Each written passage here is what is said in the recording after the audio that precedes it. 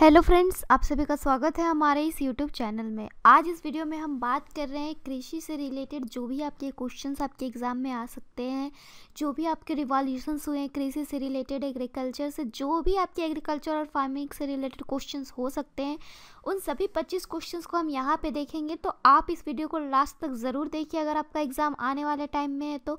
साथ ही साथ ऐसे ही और भी वीडियोज़ के लिए आप हमारे चैनल को सब्सक्राइब ज़रूर कीजिए और सब्सक्राइब करने के बाद इस बेल आइकन पर क्लिक करिए ताकि हम जो भी वीडियोज़ अपलोड करें, उसके आपको नोटिफिकेशन टाइम टू टाइम मिलती रहे और आप हमारी एक भी वीडियो मिस ना करें। तो चलिए स्टार्ट करते हैं। हमारा सबसे पहला क्वेश्चन कह रहा है कि नीली क्रांति किससे संबंधित है? नीली क्रांति यानी कि ब्लू रिवॉल्यूशन के बारे में पूछ रहा है कि ये किस चीज़ से संबंध रखती है? आपके चार ऑप्शंस दिए गए अगर आपको इसका आंसर पता है तो आप इसके आंसर हमें कमेंट बॉक्स में कमेंट ज़रूर करो। और इसके साथ साथ मैं आपको ये भी बता दूँ कि आप सारे क्वेश्चन को सबसे पहले सोचो कि आप खुद से इसके आंसर्स दे सको। तो चलिए देखते हैं। सबसे पहला कह रहा है नीली क्रांति के बारे में। तो नीली क्रांति जो है वो आपका किस चीज़ से संबंधित है? तो नीली क्रांति जो है मत्स्य उत्पादन से संबंधित है, यानी कि ऑप्शन नंबर सी नेक्स्ट है इसी तरीके से, निम्नलिखित में से किस क्षेत्र को भारत का चावल का कटोरा कहा जाता है? आपको नीचे चार ऑप्शंस दिया गया है। पूछ रहा है इनमें से किसे भारत का चावल का कटोरा कहा जाता है? तो चलिए हम देखते हैं भारत का चावल का कटोरा किसे कह सकते हैं। तो वो आपका कहा जाता है कृष्णा गोदावरी, जो डेल्टा है।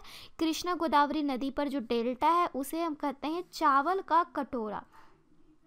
नेक्स्ट है किस राज्य को भारत का धान्य भंडार के रूप में जाना जाता? है ऊपर हमने चावल का कटोरा देखा, कृष्णा गोदावरी डेल्टा। अब आपसे पूछ रहे हैं कि भारत का धान्य भंडार हम किसे कहेंगे? तो अगर हम बात करते हैं भारत के धान्य भंडार की तो वो आपके पंजाब को कहा जाता है, यानी कि ऑप्शन नंबर बी। नेक्स्ट है इसी तरीके से हरित क्रांति, यानी कि ग्रीन रिवॉल्यूशन। हरित क्रांति का अर्थ क्या है? बोल रहा है ग्रीन रिवॉल्यूशन का अर्थ क्या है? तो आपके चार ऑप्शंस दिए गए हैं। तो अगर बात करते हैं हरित क्रांति की तो ये कोई आपका कृषक क्रांति नहीं है सामाजिक वानिकी भी नहीं है वृक्षारोपण भी नहीं है। ये जो आपका हरित क्रांति है वह कृषि के आधुनिक विधियों का उपयोग कर प्रति एकड़ फ़सल की उपज को बढ़ाना ही इसका अर्थ है कि जो भी आधुनिक विधियाँ आपकी आती है उसे उप, उसका उपयोग कर हम प्रति एकड़ फ़सल की उपज को बढ़ाएँगे। तो आपका जाएगा ऑप्शन नंबर डी के साथ। नेक्स्ट है इसी तरीके से पाकिस्तान क्वेश्चन नंबर फाइव है कि पाकिस्तान की राजधानी कहाँ है? आपसे पूछ रहा है कैपिटल ऑफ़ पाकिस्तान। तो पाकिस्तान की जो राजधानी है, वो आपकी होती है इस्लामाबाद। यहाँ से अगर और भी बात करें तो इसकी करेंसी क्या होती है? तो जो आपकी इंडिया की करेंसी होती है, यानी रुपी फिर बात करें यहाँ के प्राइम मिनिस्टर के बारे में तो वो है आपके इमरान खान। नेक्स्ट बात करें तो भारत में हरित क्रांति का जनक किसे माना जाता है? ऊपर हमने देखा कि हरित क्रांति किस चीज़ से रिलेटेड है तो वह आपके कृषि के आधुनिक विधियों का उपयोग करके प्रति एकड़ जो फ़सल की उपज को बढ़ाते हैं, उससे रिलेटेड है। तो इसके जनक के कौन कहे जाते हैं? आपके चार ऑप्शंस दिए गए हैं तो अगर हम बात करते हैं हरित क्रांति यानी ग्रीन रिवॉल्यूशन के जनक के तो वो है आपके डॉक्टर एम एस स्वामीनाथन, यानी कि ऑप्शन नंबर बी।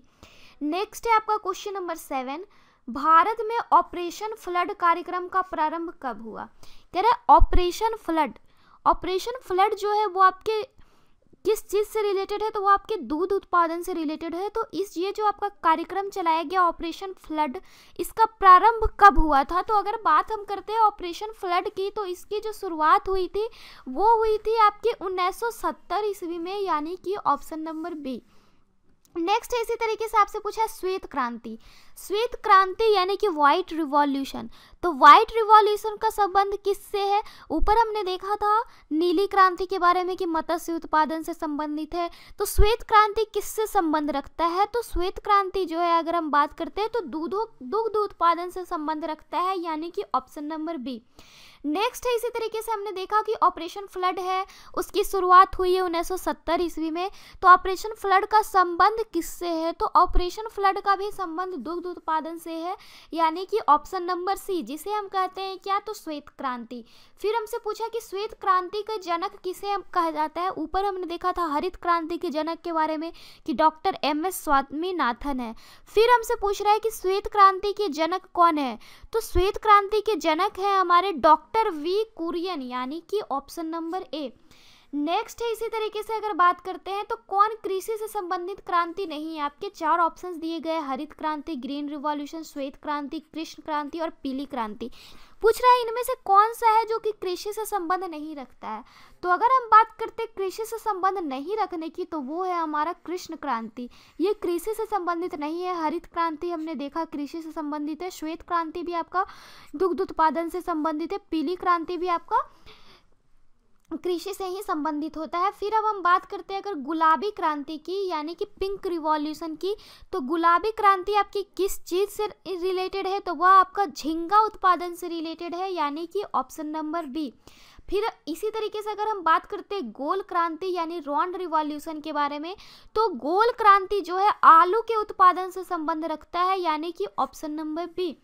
नेक्स्ट है, हमारा किस भारतीय राज्य को चाय का उत्पादक राज्य नहीं माना जाता है? कह रहा है कि कौन सा ऐसा हमारा भारत का राज्य है जो कि चाय का उत्पादक राज्य नहीं, उसे हम कह सकते हैं? क्योंकि वहाँ चाय का उत्पादन नहीं होता है।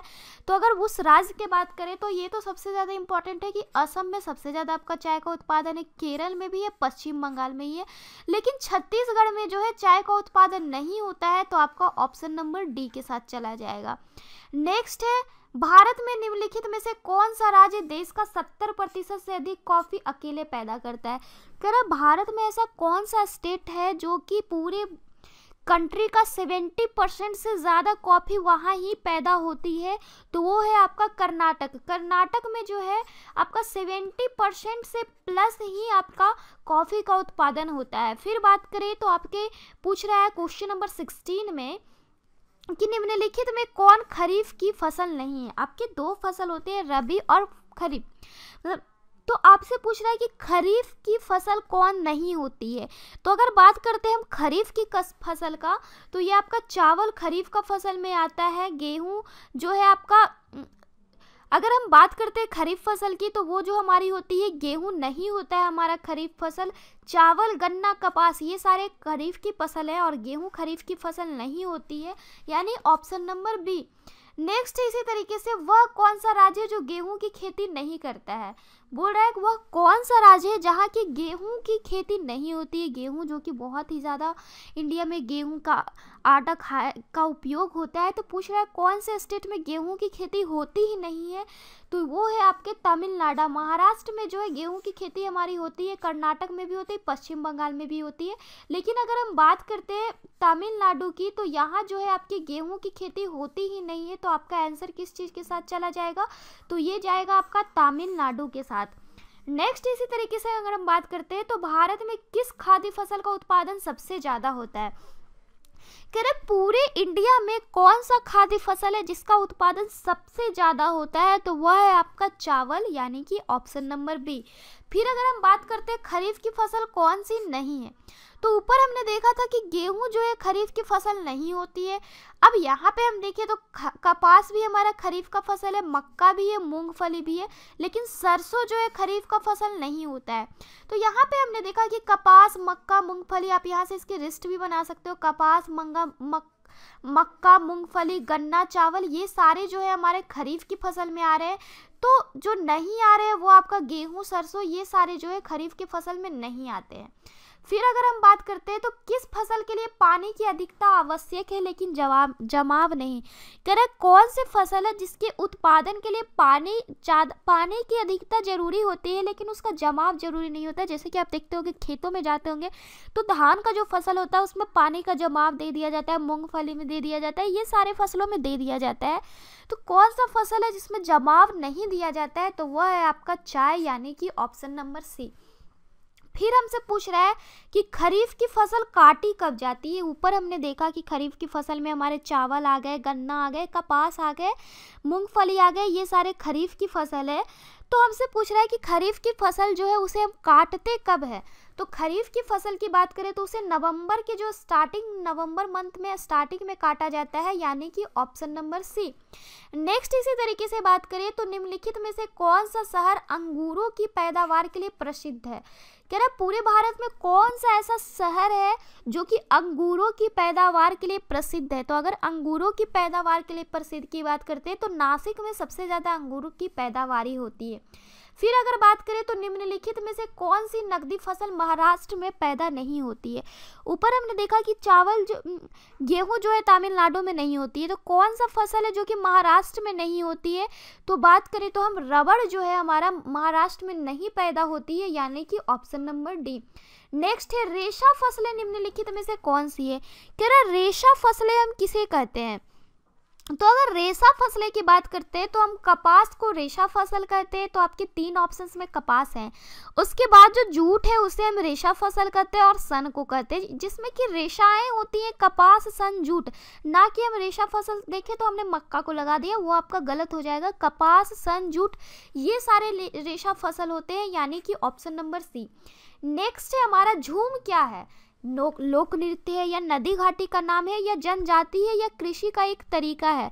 तो अगर हम झूम की बात करती है करते हैं तो झूम जो है आपका कृषि का एक तरीका होता है। बिकॉज़ यहाँ पे तो ऐसे भी हम एग्रीकल्चर की ही बात करते हैं फ़ार्मिंग की ही बात कर रहे हैं तो झूम आपका एक कृषि का ही तरीका है, यानी कि ऑप्शन नंबर डी तो आज के लिए बस इतना ही। आपको हमारा वीडियो कैसा लगा, या आप हमें लाइक कमेंट एंड शेयर करके ज़रूर बताइएगा। Then bye and thanks for watching this video